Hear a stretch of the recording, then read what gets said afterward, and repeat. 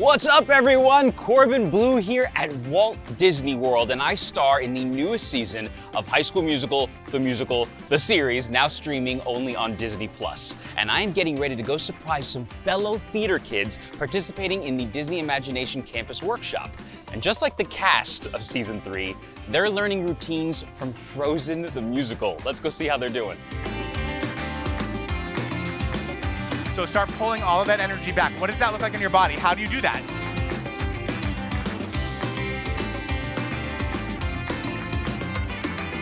Now, as theater kids, I am curious to know, have any of you all seen High School Musical? Yes, once or twice? Now, how many of you all remember Corbin Bleu? Yeah! Yeah! and he asked if we could FaceTime. So is it okay?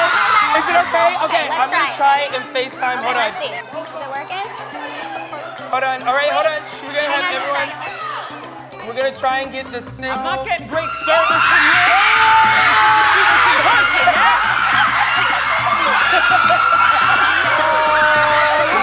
What a great welcome that was. Thank you. You guys are amazing. Are there skills that have helped you on and off stage that originated from you performing? Absolutely, Yeah. there are. Because we're always playing different characters, we're always allowing ourselves to immerse into other people. And I think that that creates empathy. Now they're in High School Musical, the musical, the series, mm-hmm. season three. Yes. What is it like performing and working alongside the new performers on this series? They're the real deal. They love what they do. Whenever the cameras are cut, they're still singing and dancing and playing.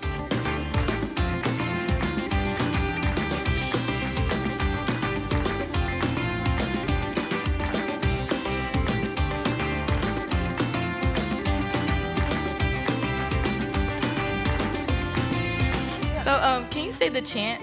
You mean like a little what team? What team? What team? Wildcats!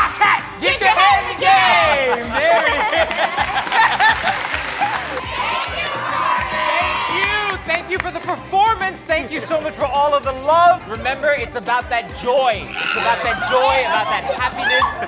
All the best to all of you. This was my very first Disney Imagination Campus workshop, and what a special experience. I feel like they gave more to me than I gave to them. From the moment that I walked out there, just the reception and the energy and the joy.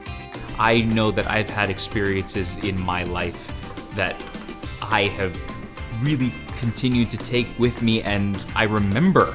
I really feel like that's just so important for performers to, to build their craft.